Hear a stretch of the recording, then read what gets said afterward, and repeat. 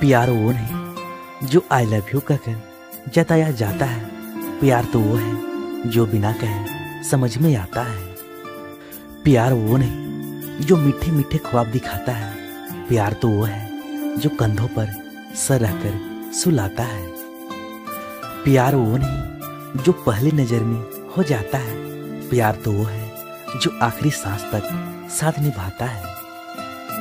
प्यार वो नहीं जो चेहरे की सुंदरता से हो जाता है, प्यार तो वो है जो मन की सुंदरता को पहचान दिलाता है। प्यार वो नहीं जो कागज़ के टुकड़ों से टूट जाता है, प्यार तो वो है जो जीवन मृत्यु के परे भी जाता है।